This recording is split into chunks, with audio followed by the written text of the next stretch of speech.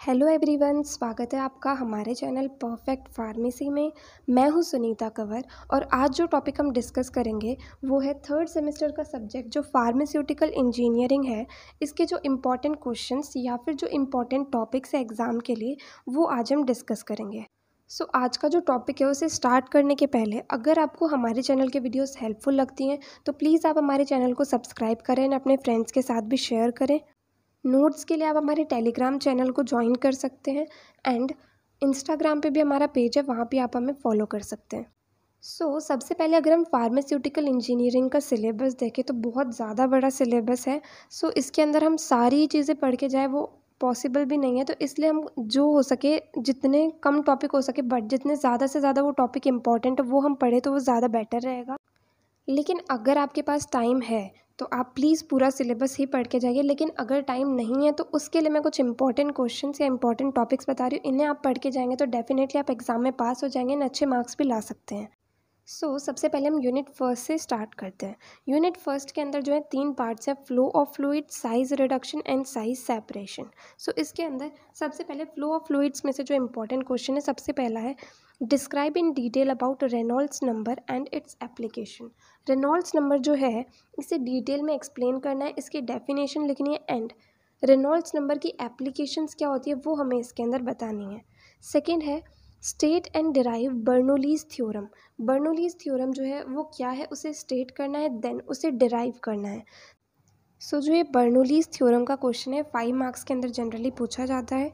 Then third है orifice meter so orifice meter के बारे में डिटेल के अंदर लिखना जो है ये फाइव मार्क्स या फिर टेन मार्क्स के अंदर पूछा जाता है।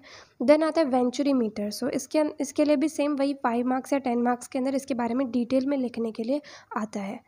सो फ्लो ऑफ़ फ्लूइड्स में से जो ये क्वेश्चन थे टॉपिक्स थे, ये इंपॉर्टेंट थे। ना और नेक्स्ट पार्ट आता है साइज़ रिडक्शन सबसे पहले साइज़ रिडक्शन की डेफिनेशन जो है, ये टू मार्क्स के अंदर बहुत ज़्यादा पूछी जाती है तो ये हमें आनी चाहिए। Then mechanism of size reduction होते हैं। जिसमें आते हैं cutting compression impact and attrition so ये चारों मैकेनिज्म जो है, इनकी डेफिनेशन अच्छे से हमें आनी चाहिए। ये क्वेश्चन जो है जनरली फाइव मार्क्स के अंदर पूछा जाता है। देन नेक्स्ट आता है fluid energy mill fluid energy mill जो है, ये क्वेश्चन जो है टेन मार्क्स के अंदर आता है, जिसके अंदर पहले जो है जनरल साइज़ रिडक्शन की डेफिनेशन पूछ लेंगे। देन डिटेल के अंदर हमें फ्लूइड एनर्जी मिल के बारे में लिखना होगा मतलब। कि फ्लूइड एनर्जी मिल जो है, ये किस प्रिंसिपल के ऊपर काम करती है, इसका कंस्ट्रक्शन किस तरीके से होता है देन इसकी वर्किंग किस तरीके से होती है देन इसके uses and advantages and disadvantages पूरा डिटेल में हमें लिखना होता है तो ये क्वेश्चन टेन मार्क्स के अंदर आता है। नाउ जो थर्ड पार्ट है फ़र्स्ट यूनिट का, वो है size separation so size separation के अंदर जनरली साइज़ सेपरेशन की डेफिनेशन जो है, वो पूछी जाती है एंड ऑफिशियल स्टैंडर्ड्स जो होते हैं पाउडर के, ये भी टू मार्क्स के अंदर ये क्वेश्चन पूछा जाता है। सो फ़र्स्ट यूनिट के अंदर जो इंपॉर्टेंट क्वेश्चन और टॉपिक्स थे, वो ये थे ना, और नेक्स्ट हम जानेंगे सेकेंड यूनिट के बाद सो सेकेंड यूनिट जो है, इसके अंदर भी तीन पार्ट्स हैं। First is heat transfer second is evaporation and third is distillation so सबसे पहले हीट ट्रांसफ़र के अंदर मैकेनिज्म ऑफ़ हीट ट्रांसफ़र इसके अंदर तीन पॉइंट्स आते हैं, वो हमें अच्छे से आना चाहिए। देन सेकेंड आते हैं फूरियर्स लॉ सो दो फूरियर्स लॉ होते हैं, ये भी हमें अच्छे से आने चाहिए। ये जो है, ये क्वेश्चन जनरली फाइव मार्क्स के अंदर ये दोनों क्वेश्चन पूछे जाते हैं।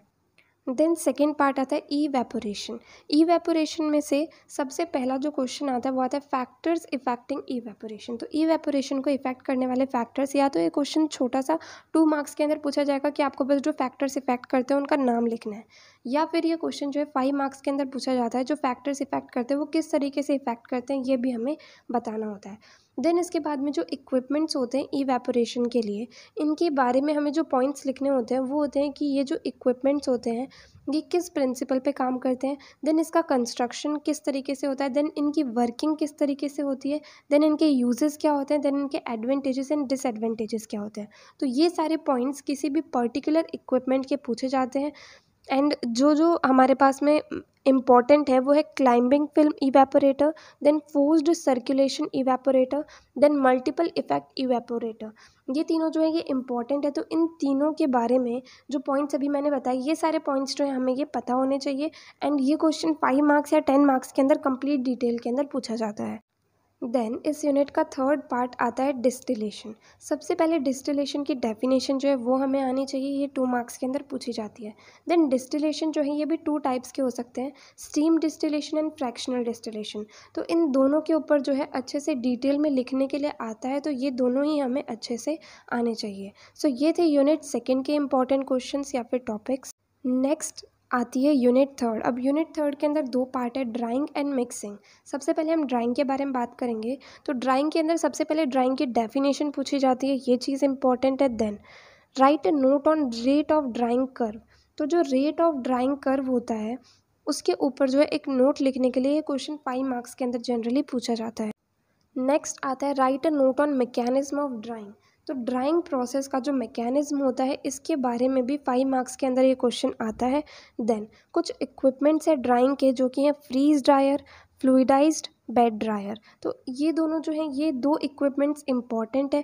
अब इसके बारे में अगर बड़ा क्वेश्चन आता है फाइव मार्क्स या टेन मार्क्स के अंदर इन इक्विपमेंट्स का तो हमें क्या लिखना होता है कि ये इक्विपमेंट जो हैं वो किस प्रिंसिपल पे काम करते हैं? देन इनका कंस्ट्रक्शन क्या होता है? देन इसकी वर्किंग किस तरीके से होती है?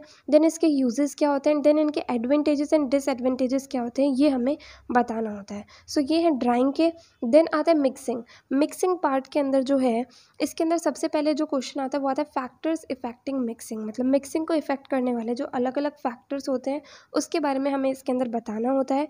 देन मिक्सिंग के जो इक्विपमेंट्स हैं double cone blender planetary mixer and twin shell blender ये तीनों जो हैं, ये इंपॉर्टेंट होते हैं एंड इनके प्रिंसिपल देन इनका कंस्ट्रक्शन किस तरीके से होता है देन ये वर्किंग किस तरीके से करते हैं देन इनके यूजेस क्या होते हैं एंड देन इनके एडवांटेजेस एंड डिसएडवांटेजेस क्या होते हैं ये हमें लिखना होता है तो इसके ऊपर जो है बड़ा क्वेश्चन बनता है। सो so, ये थे यूनिट थर्ड के क्वेश्चंस नेक्स्ट आती है यूनिट फोर्थ यूनिट फोर्थ के अंदर भी दो पार्ट है first is filtration and second is centrifugation तो सबसे पहले हम फिल्ट्रेशन की बात करते हैं। फिल्ट्रेशन के अंदर सबसे पहला क्वेश्चन जो पूछा जाता है, वो आता है फैक्टर्स इफेक्टिंग फिल्ट्रेशन मतलब फिल्ट्रेशन को इफ़ेक्ट करने वाले कौन कौन से फैक्टर्स जो हैं, वो होते हैं, वो हमें बताना है। Then filter, media and filter aids. तो इन दोनों के ऊपर ही क्वेश्चन आ जाते हैं। फाइव मार्क्स का भी आ सकता है, टू मार्क्स का भी आ सकता है। जिसके अंदर हमें ये बताना कि फ़िल्टर, मीडिया होता क्या है एंड ये किस तरीके से काम करता है, किस तरीके से फिल्ट्रेशन में मदद करता है। देन फ़िल्टर एड्स के लिए भी सेम चीज़ कि फ़िल्टर एड्स होते क्या एंड ये किस तरीके से फिल्ट्रेशन में मदद करते हैं। देन जो इक्विपमेंट है वो है रोटरी ड्रम फ़िल्टर। ये इंपॉर्टेंट है, ये जनरली एग्ज़ाम के अंदर पूछा जाता है। अगर इसके ऊपर बड़ा क्वेश्चन बनता है तो हमें बताना होता है कि ये किस प्रिंसिपल पे काम करता है, इसका कंस्ट्रक्शन किस तरीके से होता है। देन ये वर्किंग किस तरीके से करता है? इसके यूजेस क्या क्या होते हैं? एंड देन इसके एडवांटेजेस एंड डिसएडवांटेजेस क्या होते हैं? Then second part is centrifugation centrifugation क्या होता है? देन इसका प्रिंसिपल क्या होता है? एंड इसके एप्लीकेशंस क्या होती हैं? ये क्वेश्चन पूछा जाता है। देन अब सेंट्रीफिकेशन के भी दो इक्विपमेंट्स जो हैं, ये इंपॉर्टेंट है। पहला आता है परफोरेटेड बास्केट सेंट्रीफ्यूज एंड दूसरा आता है सुपर सेंट्रीफ्यूज सो so, अगर इन दोनों इक्विपमेंट्स पे कोई बड़ा क्वेश्चन आता है जैसे फाइव मार्क्स या टेन मार्क्स के अंदर आ गया तो उसके अंदर हमें ये किस प्रिंसिपल पे वर्क करते हैं देन इनका कंस्ट्रक्शन किस तरीके से होता है वर्किंग किस तरीके से होती है यूज़ क्या होता है एंड एडवांटेजेस एंड डिसएडवांटेजेस क्या होते हैं वो सब हमें बताना होता है। सो so, ये हो गया कंप्लीट यूनिट फोर्थ का। नेक्स्ट आती है यूनिट फिफ्थ यूनिट फिफ्थ के अंदर सबसे पहला क्वेश्चन जो बनता है वो है classify and discuss the materials use for plant construction so plant construction के लिए जो मटेरियल्स यूज़ होते हैं, उन्हें क्लासीफाई करना है देन उसके बारे में जो है डिटेल के अंदर लिखना है। तो ये जो है, ये टेन मार्क्स का क्वेश्चन डायरेक्टली बनता है। इसके अंदर सबसे पहले तो हम क्लासीफाई कर देंगे जो मटीरियल्स हैं उनको देन उन मटीरियल्स के बारे में हम वन बाय वन डिटेल के अंदर लिख देंगे। देन सेकेंड आता है factors affecting selection of material for pharmaceutical plant construction so जो फार्मास्यूटिकल प्लांट कंस्ट्रक्शन होता है उसके लिए जो मटेरियल को सिलेक्ट किया जाता है तो उसे इफ़ेक्ट करने वाले फैक्टर्स कौन कौन से होते हैं? इसके बारे में डिटेल में अच्छे से बताना ये क्वेश्चन जो है ये भी फाइव मार्क्स या टेन मार्क्स के अंदर पूछा जा सकता है। Then next is what is corrosion corrosion क्या होता है उसकी डेफिनेशन हमें बतानी है क्वेश्चन जो है जनरली टू मार्क्स के अंदर पूछा जाता है। सो so, ये हो गए यूनिट फिफ्थ के क्वेश्चन सो so, ये तो हो गई यूनिट वाइज जो इम्पोर्टेंट क्वेश्चन है वो इन क्वेश्चन को अच्छे से पढ़ना बहुत ज़रूरी है। अगर हम एग्ज़ाम में पास होना है तो उसके लिए भी बहुत ज़रूरी है। कम से कम इतना तो हमें पढ़ के जाना ही होगा। बट अगर आप ये सोच रहे हैं कि हम कोई भी पर्टिकुलर तीन यूनिट पढ़ के जाएँ तो उसके लिए first first unit and second unit ये दोनों यूनिट्स बहुत ज़्यादा इंपॉर्टेंट है एग्ज़ाम पॉइंट ऑफ़ व्यू से। तो ये दोनों यूनिट तो आप पक्का पढ़ के जाइए। उसके अलावा बाकी तीनों यूनिट में से कोई भी एक यूनिट आप पढ़ सकते हैं वो आपकी मर्ज़ी है। तो इस तरीके से तीन यूनिट को अगर आप पढ़ के जाएँगे तो भी आप एग्ज़ाम में पास तो हो ही जाएँगे अच्छे मार्क्स भी आप ला सकते हैं अगर आप बहुत अच्छे से चीज़ों को पढ़ के जाएँगे तो। सो so, ये जो इंपॉर्टेंट क्वेश्चन है इसके पीडीएफ जो है वो मैं टेलीग्राम चैनल पे अपलोड कर दूँगी वहाँ पर आप चेक कर सकते हैं। एंड अगर आपको इस वीडियो के अंदर जो भी बताया गया है, उसके अंदर कोई भी डाउट आया तो आप कमेंट सेक्शन में पूछ सकते हैं। और अगर नेक्स्ट वीडियो आप किसी पर्टिकुलर टॉपिक पे चाहते हैं तो वो भी आप कमेंट सेक्शन में बता सकते हैं। और अगर आपको ये वीडियो हेल्पफुल लगी हो तो प्लीज़ इस वीडियो को लाइक करना, ज़्यादा से ज़्यादा लोगों को शेयर करना और चैनल को सब्सक्राइब करना। थैंक यू सो मच इस वीडियो को एंड तक देखने के लिए एंड चैनल को सपोर्ट करने के लिए।